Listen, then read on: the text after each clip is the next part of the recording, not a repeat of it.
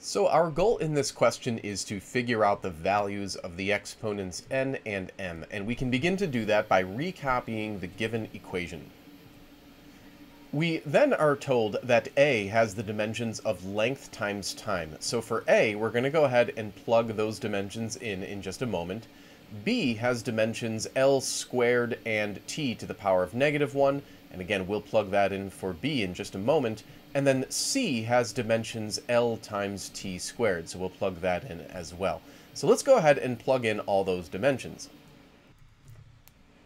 Next, on the right-hand side, we will apply one of the laws of exponents. And you may recall when you were studying mathematics that when you have x to the power of a, and then that's raised to another power b, what you do is you multiply those two powers. So in this little example, you would get x to the power of a times b. And that's basically what we're going to do on the right-hand side. So for example, you have L to the power of 2, which is raised to the power of n. So when you multiply those, you will get L to the power of 2n. You will also do that exercise for this power. Negative 1 times that n will give you t to the power of negative 1n. In the next term, we have the same idea. Note that this L has a power of 1, and when you multiply m and 1, you get L to the power of m. And then when you multiply the m by the 2, you get t to the power of 2m.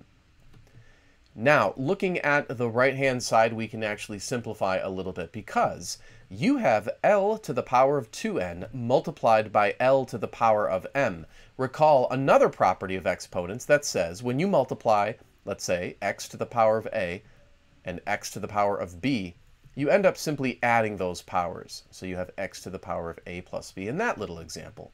So on the right-hand side with this L term, you're going to end up with L, and then you're going to add the 2n and the m. So you end up with a power of 2n plus m.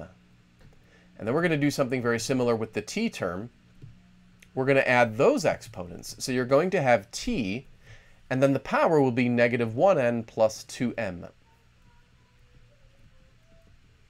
And the right hand, excuse me, the left hand side is still L times T. Now we're going to start equating like terms, and let's talk about what we mean by that. So on the left side, you have L to the power of 1. Again, there's an implied 1 there. And on the right hand side, you have L to the power of 2n plus m.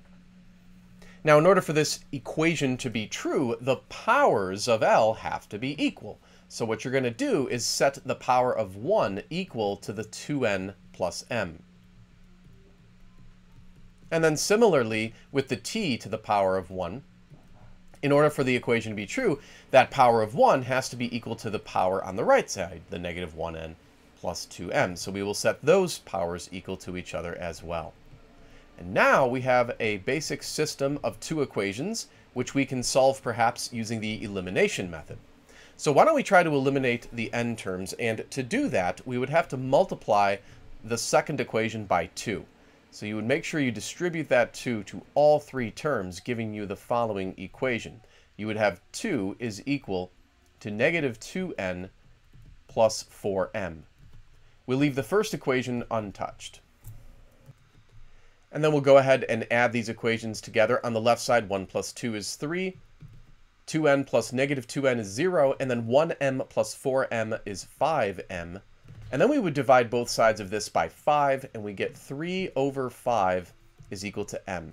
So that is the correct answer for the value of m. To solve for n, we can pick either of the original equations. We'll take this one, and we will simply substitute the m that we just obtained.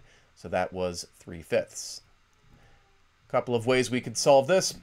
Perhaps the best way is to multiply every term here by 5 because this generates a, an equation without any fractions. So now we have 5 is equal to 10n plus 3. Subtract 3 from both sides, you get 2 is equal to 10n.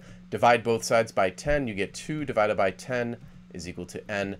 We can simplify the 2 tenths by reducing it. Divide top and bottom by 2. We get n is equal to 1 fifth.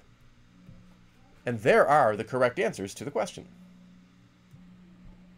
Thanks for taking the time to watch the video. If you're interested in making a small donation to my cause, I would greatly appreciate it. But of course, please do not feel obligated to do so. I appreciate you taking the time regardless.